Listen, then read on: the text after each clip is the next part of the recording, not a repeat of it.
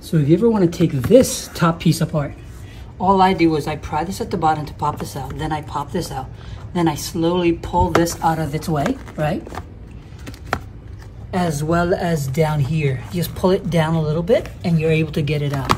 Likewise, to the side, you pull this piece out and then of course you take a little plastic thingy and you just move this out. So now you've got access to all of this.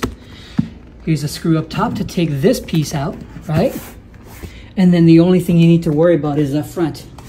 I've already pulled this section, so this is all the way up.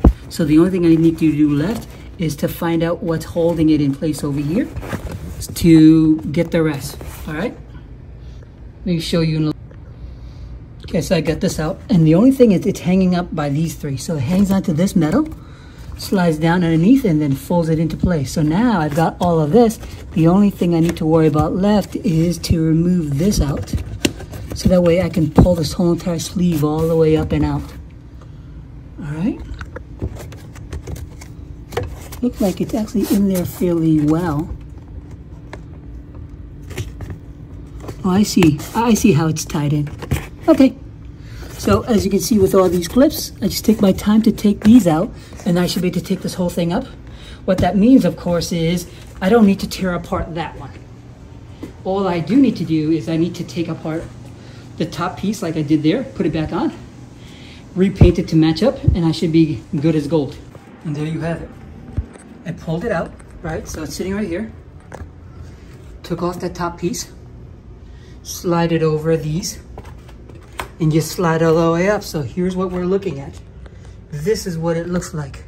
Now, ideally, I would have loved to just keep this intact and just take out, I mean, I might still be able to do that.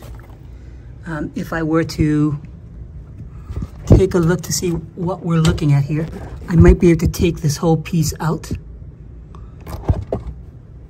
But at least you all get a chance to see what it looks like before you even tear yours apart likewise for mine, I'm hoping that that um, they're very similar because this one isn't similar, right? So as you can see, this one has it. And then this one, oh, no, it has it. It has it. Good, good, good, good. So it has all the pieces that I need. Um, this should be a fast turnaround if I were to remove this, all right? So let's, let's, uh, let me try it out. And we'll go from there. But at least this eyesore can possibly disappear. Now, I'll probably stash that back onto here. Take all these screws, take all these bits and put it back all together and then sell it as, as a broken piece. But then I will have a nice setup. We'll see, all right?